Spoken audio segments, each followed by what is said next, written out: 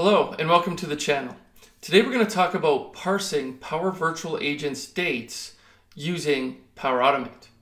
Let's go. So I want to introduce a new feature of this channel called Ask the Audience. And this is the result of some of the interaction that I've had with you, the viewers, on the channel itself. And certainly I'd love to encourage more, because at the end of the day, I'm always looking to find new ways to provide value to you folks.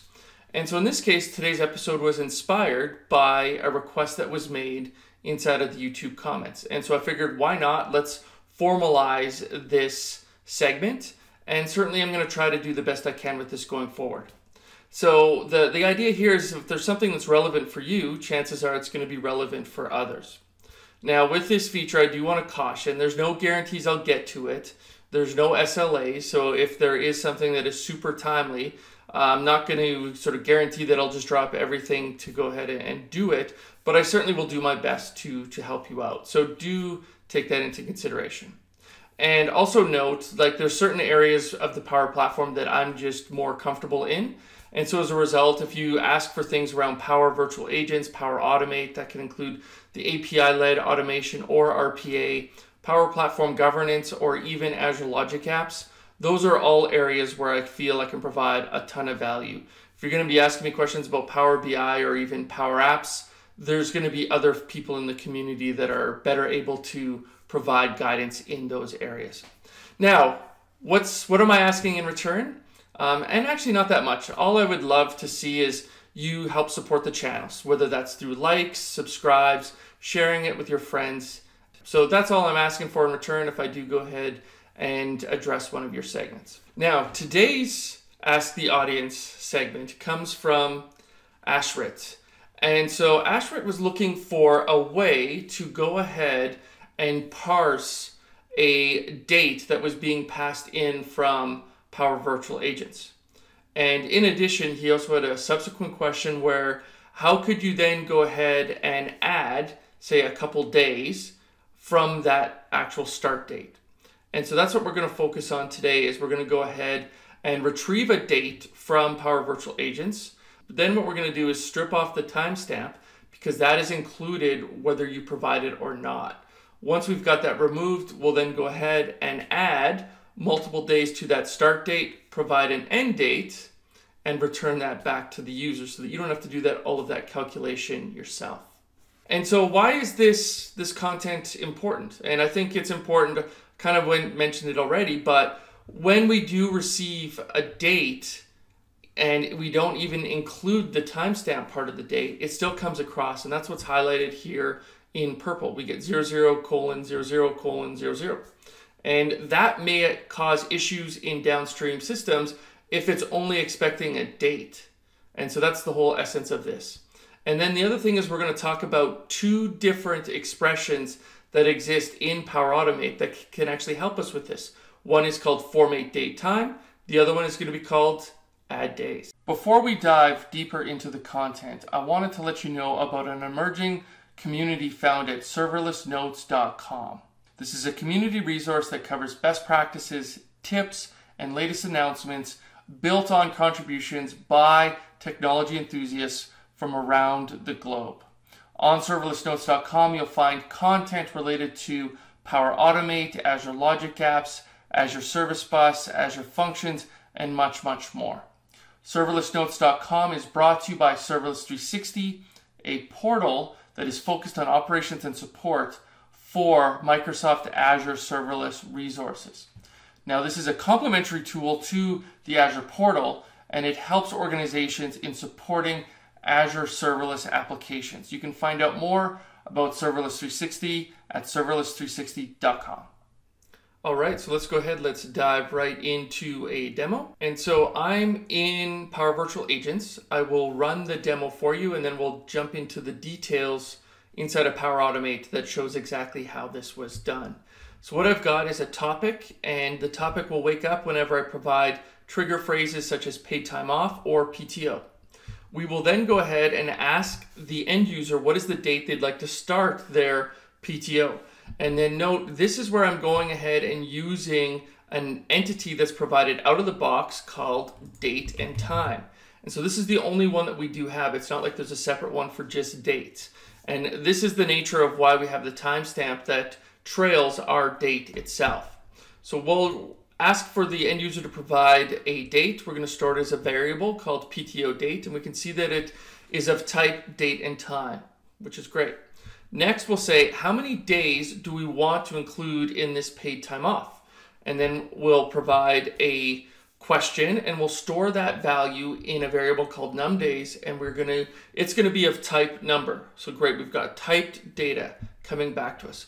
We will then go ahead pass it to Power Automate and then we will retrieve or receive a response from Power Automate which we will display here um, on the chat canvas itself. So let's go ahead and let's run this. So here I'm going to go ahead and wake up the bot. And now I need to provide a date for when I want to start my paid time off. And so tomorrow is going to be June 1st. So let's go ahead and provide that date as our starting date. Now we're going to be asked how many additional days do we want to include in this time off. And I'm going to say four days beyond the initial date. And then what we're going to see is a response coming back from Power Automate of the 5th. So let's go ahead. Let's just take a quick look at a calendar. And we can see that tomorrow is the 1st and that uh, four days later, our end date will be the 5th of June. Okay, so that's great. That's working exactly how we would expect it to. Now, let's flip over to Power Automate. Here's where I'm going to expose those different inputs for my trigger. So I've got my date, plus I've got my number of days.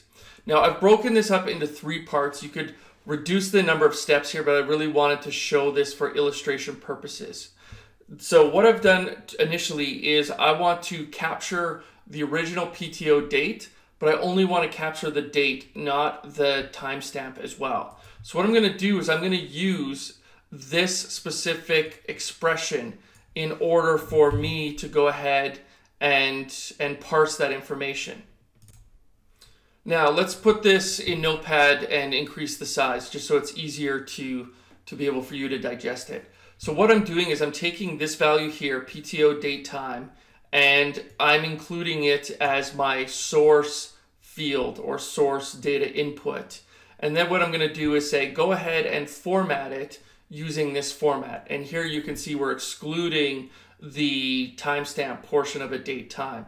Now, I don't have to type this in manually myself. I can go ahead and use the dynamic content. And that's what's happened here is when I go ahead and select this piece, let's just delete that. I can go ahead and click PTO date, and that's where that value is coming from. So that addresses our initial date that's been inputted. And I'll show you the run history so you can see this all in action here shortly. The next thing we want to do is address the add days component to this. We want to be able to say, for this starting date, now go ahead and add your additional days. So once again, let's just head over to Notepad. We'll paste this in. And so what's happening is we are taking the outputs from this compose action. So that's where this is right here. And then what we're going to do is we're going to add the days that were passed in our trigger. And that is this specific value right here. And so once again, you can pull this information from your dynamic content, but just to show you how the expression lines up itself. Now, the problem with this approach though is when we go ahead and run this function, we get a timestamp that is appended to our date time. So what we do need to do is we need to run this through once again. And the difference is we will use our compose add days action here as our input, and then we'll reformat it once again. Now, you could probably reduce this down to two steps or maybe even one step if you wanted to concatenate all of these different expressions, but I wanted to keep it simple and so you could see it step by step how this works.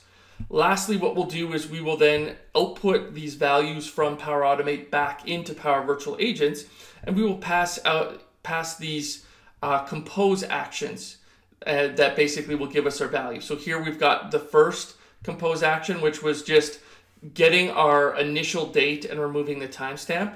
And then the PTO end date, this represents this action right here, the one we just talked about, where we've gone ahead, added the additional days, and then basically reformatted it once again so that it's very clean. Now let's head over to our run history just so you can see this in action here. So here's our inputs, and as you can see, we have the timestamp and we have the number of days that were passed in. Then what's going to happen is we are going to run that first expression. We're going to get just our date, which is exactly what we want. Now what we want to do is add those additional four days to it. And so when we do so, we're now going to line up with the 5th, which is next Friday. The issue with this is that we now have this timestamp that has been added. This is just a byproduct of using that specific expression. So now what we need to do is we're going to take this input, this is an input into our uh, last compose action where we're going to format out the timestamp and be left just with the clean value that we want. And then what we're going to do is we're going to then output this and we're going to include some markdown. That's what these stars represent and these backslashes so that we have a nicely formatted response message in our conversation, which is exactly what we see right here.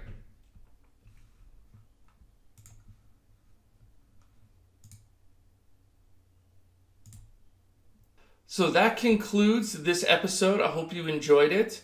Uh, if you have any scenarios that you want me to go ahead and try to attack, put them in the comments. I do my best to follow up on the comments itself. And if it's something that I can address, I, I certainly will do my best to do so. So thanks for checking out this video and we'll see you again next week. Take care.